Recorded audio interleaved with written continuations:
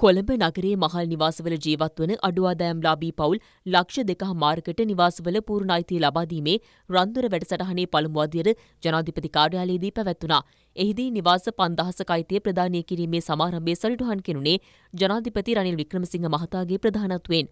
කොළඹ දිස්ත්‍රික්කයේ මහල් නිවාස සංකීර්ණ 31ක පිහිටි නිවාස 130ක හිමිකාරීත්වය ප්‍රදානය කිරීම මෙහිදී සිදු කෙරුණු අතර ජනාධිපතිවරයා සංකේතාත්මකව එම අවස්ථාවට එක් වුණා. නිවාස සංවර්ධන අධිකාරිය මගින් මාසිකව රුපියල් තුන්දහසක හෝ ඊට අඩු අගයක කුලී පදනම මත අනාගතයේ අයිතිය ලැබෙනසේ අඩු ආදායම් ලාභීන් වෙත මහල් නිවාස ලබා දී තිබෙනවා. එම නිවාස මෙන්ම සියලු නිවාස සඳහා රුපියල් එක් ලක්ෂ පනස් දහසක මුදලක් ගෙවා ඇති සහ මෙතෙක් එම මුදල ගෙවා නැති මාසයක් තුළය ගෙවා අවසන් කරන පවුල් පනස් දහසක් වෙත පළමු අදියරේදී පූර්ණ නිවාස හිමිකම් ප්‍රදානය කෙරෙනවා. මෙම වසර අවසන් වන විට ප්‍රතිලාභීන් එක්දහස් හැත්තෑවකට හිමිකම් ඔප්පු ප්‍රදානය කිරීමටයි නිවාස සංවර්ධන අධිකාරිය සැලසුම් කර ඇත්තේ.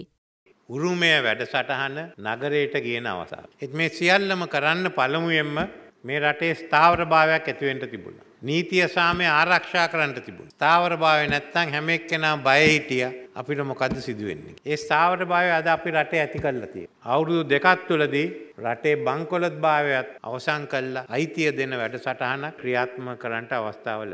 ඒ වගේම අවුරුදු දෙකට ඉස්සෙල්ල මට තේරුණා නිවසක වටිනාකම්. ගෙදර පිච්චෙන අවස්ථාවයි කාටවත් එන්න ඉඩ දුන්නෑ ඇතිබුණේ හැම එකම්ම පොත්පත්ම නැති මට එවල තේරුණා නිවසක වටිනාකම්. විශේෂයෙන්ම උරුමය ක්‍රියා කරන අවස්ථාවේදී ගමට සීමා නොකර නගරයට ලබල දෙන්න. ඒ නිසා තමයි අද මේ වැඩසටාන ආරම්භ කරලා තියෙන. ලක්ෂ විස්සකට උරුමේ ලබල දෙනවා ගම්බද ප්‍රදේශවල. ලක්ෂ දෙකහමාරකට උරුමේ ලබල දෙනවා කොළඹ නක්. ඒ නිවස ආරක්ෂා කරන්න. වෙන අයට ගිහින් විකුණන්නත් එපා. තව නිවසක් කොළඹින් ඔහොම ලේසියෙන් හම්බෙන්නේ නැහැ. ඒත් ආණ්ඩුවක් හැටියට අපි ක්‍රියා කරලා තියෙන්නේ පුළුවන් තරම් සහන මේ රටේ ජනතාවට දෙන්න. ඔබ විඳ දුක අපි ඔක්කොමලා දන්නවා. අපි එකතු වෙලා හිතුවා වෙනසක් කරන්න ඕන කියලා. වෙනස කරන්නේ සටන් පාට කියලා නෙමෙයි. වෙනස කරන්නේ පාර ගිහින් කෑ ගහලා නෙමෙයි. වෙනස කරන්නේ පෙත්සන් අත්සන් කළා නෙමෙයි. බහැලයි වැඩ කටයුත්ත කරා. අපිට මින් පස්සේ හැමදාම ණය වෙන්න බෑ.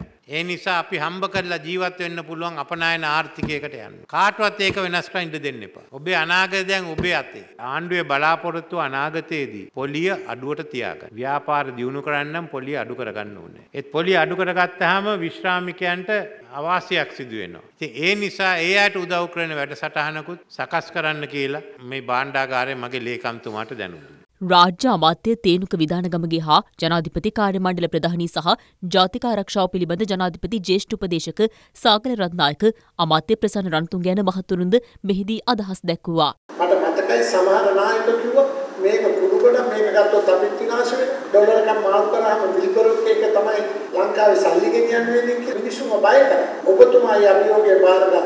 අභියෝගය පාර අරගෙන අවුරුදු දෙකක් ඇතුළත මේ රට බංකොලොත් භාවයෙන් මුදව ගන්න විතරක් නෙමෙයි මේ රටේ මිනිස්සුන්ට